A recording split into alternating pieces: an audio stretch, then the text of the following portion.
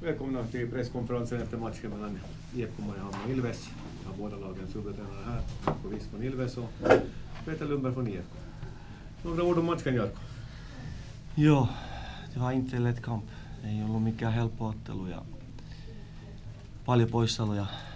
Eli viisi tavallaan sellaista, jotka voisi olla avauksessa ja paljon pelejä ja merittejä, mutta tiedostettiin mitä on tulossa ja mun mielestä me puolustettiin aika hyvin.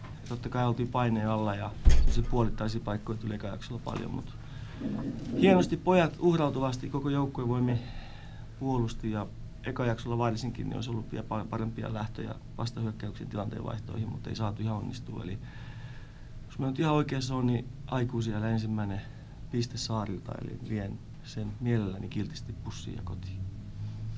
Så att de i sista han säger att han tar gärna den här poängen och, och tar den med hem i, till bussen och hem, hem till Tammerfors. Han säger att de försvarar bra, och nöjd med försvaret. Han har fem, fem spelare borta som, som bra kunde vara med i startelvan och, och visste att det är en svår match.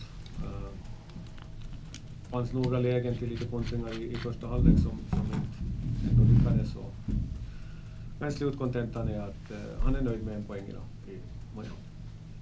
Tack. Lundis. Eh, ja, vi vill ju vinna hemma såklart. Jag tycker vi gör en bra första halvlek. Eh, kontrollerar matchen bra. Eh, har mycket bollinnehav på deras planhalva. Skapar också chanser. Kommer förbi framförallt på högersidan och skapar en del chanser. Så jag tycker vi är rätt bra i första halvlek faktiskt. men det är viktigt att få utdelning i de där perioderna när, när man är bra.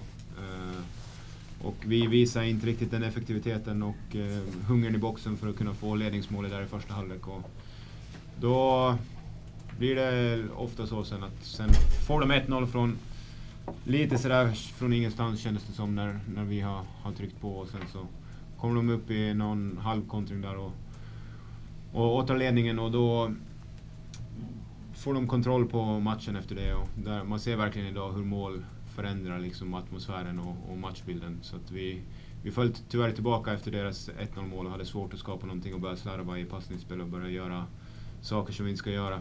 Eh, sen har vi då å andra sidan lite flyt med, med Daffas mål. Det är ju jättevackert och bra gjort såklart, men lite från ingenstans kommer 1-1 och då får vi momentum och så kommer vi med en stark period och, och trycker på igen och eh, eh skapar lite sådär halv, halvlägen i alla fall. Och, ja, sen svänger det tillbaka och med 2-1 och det tycker jag vi reagerar bra på, det, det målet. Får bra tryck när vi sätter upp Jani på slutet och får in 2-2 och, och fast det bara är några minuter kvar där så känns det ändå som vi hinner skapa ganska mycket för att, för att kunna vinna matchen också. Så att, eh, jag är besviken att vi inte vinner matchen såklart eh, här hemma.